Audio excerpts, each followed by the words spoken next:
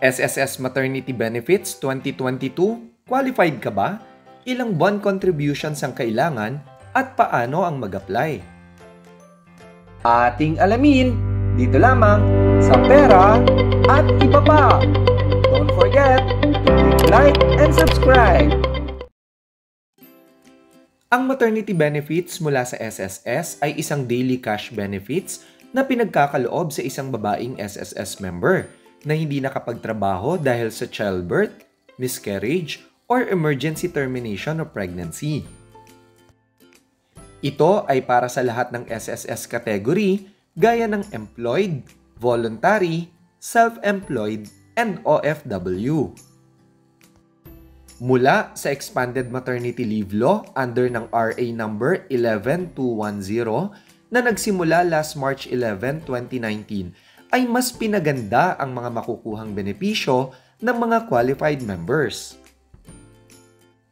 Tunghayan natin ang mga improvements sa SSS maternity benefits kung kayo ay nanganak before March 11, 2019 and after March 11, 2019. Under ng SSS contributions from 11% of monthly salary credit, ito ay naging 12% na.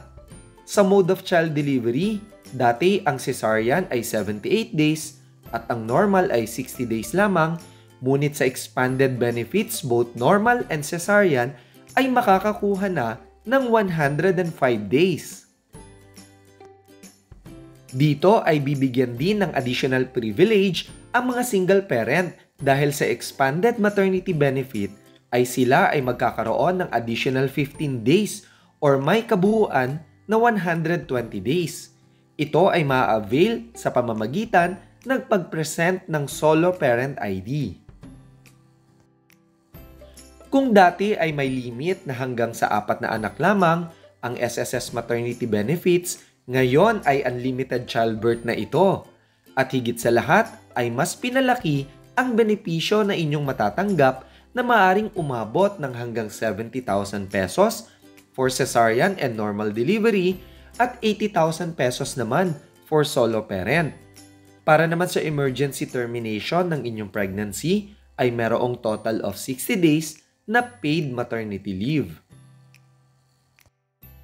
Ang isang member ay qualified na makakakuha nito kung siya ay nakapagbayad ng at least 3 monthly contributions within the 12-month period immediately preceding the semester of her childbirth or miscarriage. Pero ano nga ba ang ibig sabihin nito?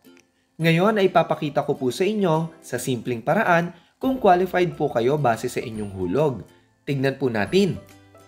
Kung ang due date nyo po, for example, ay from January, February, or March of 2022, ay dapat may hulog ka ng at least 3 months sa kahit anong buwan from October 2020 hanggang September 2021.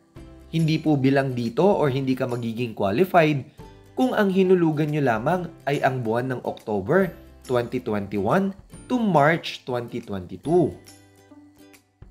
Para naman po sa mga may due date ng April, May at June 2022 ay dapat may hulog ka ng at least 3 months sa kahit anong buwan from January 2021 hanggang December 2021 hindi po bilang dito or hindi ka magiging qualified kung ang hinulugan nyo lamang ay ang buwan ng January 2022 to June 2022. Next example po natin ay sa may mga due date ng July, August, or September 2022. Dapat po ay may hulog kayo ng at least 3 months sa kahit anong buwan from April 2021 hanggang March 2022. Hindi po bilang dito or hindi po kayo magiging qualified kung ang hinulugan nyo lamang po ay mula sa buwan ng April 2022 till September 2022.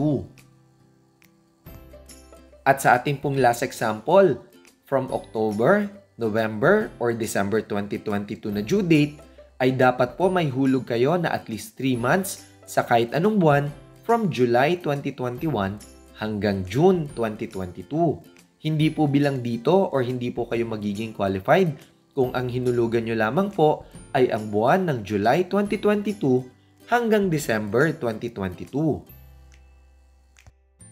Panoorin niyo po ang aming previous video para malaman ang step-by-step procedure sa pag apply ng SSS Maternity Online. At malaman kung magkano ang monthly contributions at deadline for voluntary and self-employed.